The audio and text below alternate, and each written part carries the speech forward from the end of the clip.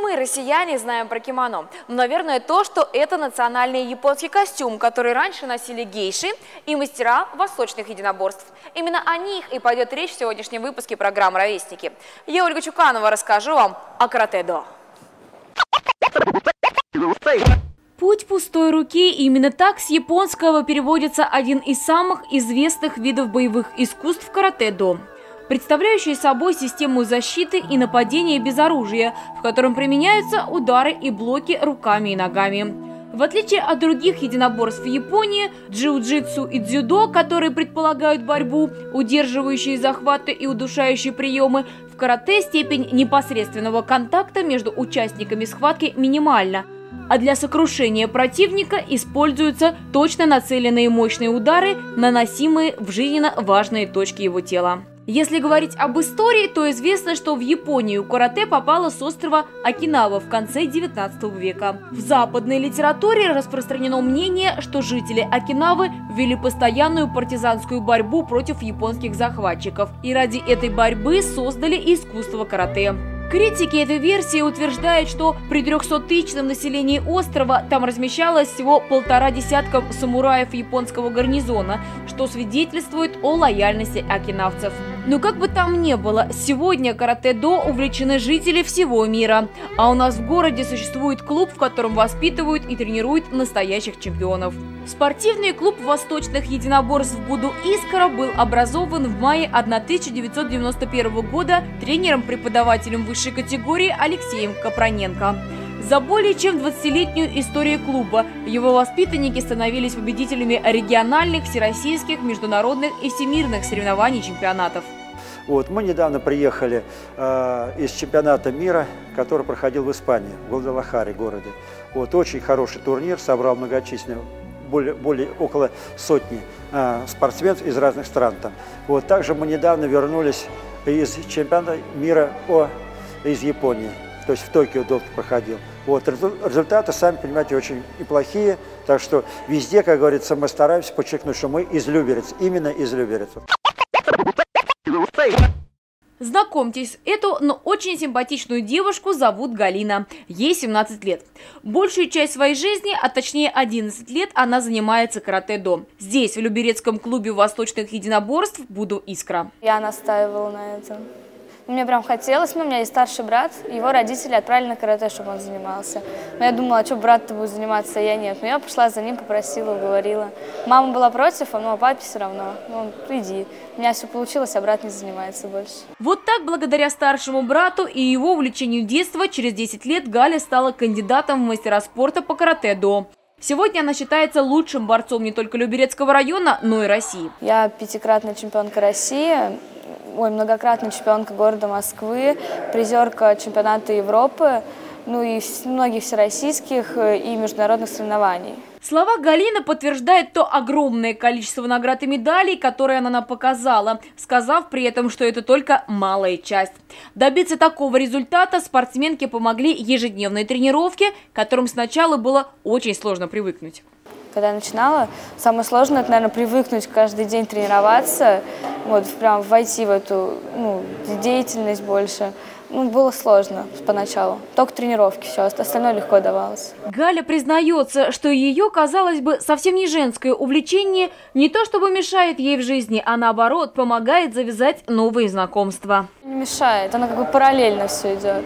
Наоборот, даже как-то лучше с карате. Ну, не знаю, больше друзей, знакомых в разных странах, городах. Ну, все, мне больше нравится так. Любить и отдаваться полностью тренировкам и спорту можно, наверное, лишь в том случае, если тебе комфортно и приятно находиться в коллективе единомышленников, предводителем которого, конечно, является тренер. Грамотно может, ну, по каждому иметь свой личный подход. Он знает каждого своего ученика все-таки хорошо, мы уже все давно занимаемся. И ну, я люблю своего тренера. С такими детьми очень интересно работать. И даже, как говорится, и не чувствуются годы даже. Вот там время пролетает, даже 20 лет с лишним, как пролетели, как один миг. Понимаете? И поэтому, ну, как ты с ними даже душой молодеешь. Понимаете?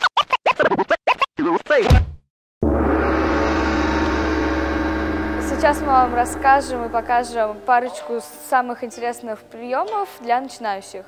Встали в стойке. Делаем. Раз, Этот удар называется гиякузуки дзюдан, то есть дзюдан это в голову. Еще раз, не спеша, медленно. Идет блок руки для того, чтобы соперник не смог ударить себя. Еще раз сделай. Идет накладка, еще раз, и удар.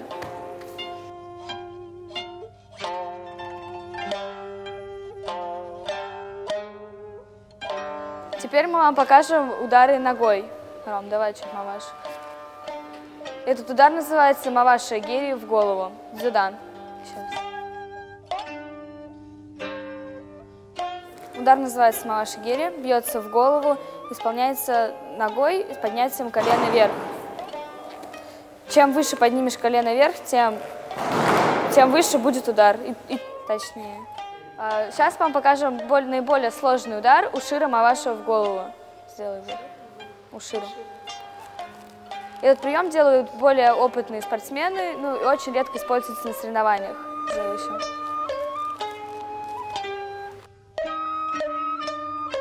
Это более сложный удар, который исполняется с разворота на 180 градусов.